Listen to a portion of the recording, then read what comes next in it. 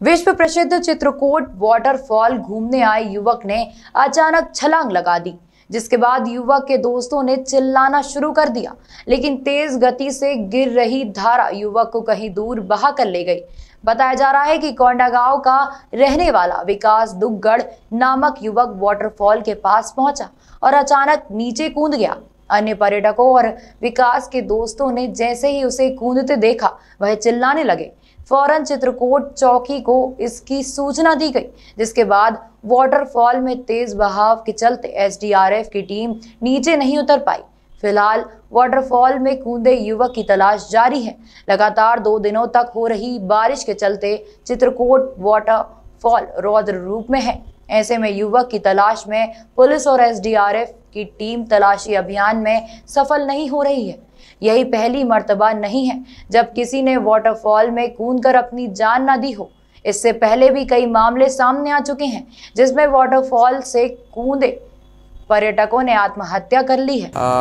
आज जानकारी मिली कि दोपहर साढ़े बारह के आसपास कुंडा गाँव का एक व्यक्ति विकास दुग्गड़ नाम जानकारी में आया हुआ है।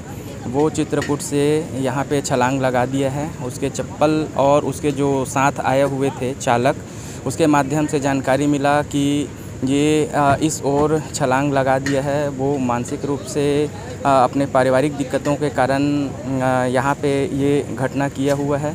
और जैसे ही हमें जानकारी मिली कि एक व्यक्ति है यहाँ से छलांग लगा दिया है तो हमारा स्टाफ तुरंत यहाँ पे आ गया। और एसडीआरएफ के टीम के द्वारा अभी उसकी उसकी खोजबीन की जा रही है। सर जिस समय घटना उस समय क्या पुलिस के जवान ड्यूटी में थे क्या? क्या प्रयास किया गया क्या बचाने का?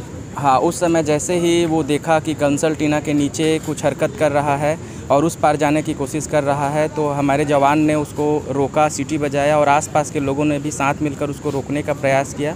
लेकिन उनकी मंशा कुछ अलग ही थी कुछ अलग कूदने का ही था। इस कारण वो छलांग लगा दिया और हमारे जवान उसके पीछे दौड़ रहे। सर रेस्क्यू ऑपरेशन की क्या स्थिति रेस्क्यू ऑपरेशन अभी भी जारी है। एसडीआरएफ टीम के द्वारा आया हुआ है लेकिन पानी का बहाव बहुत तेज़ होने के कारण अभी सर्च ऑपरेशन किया ही जा रहा है।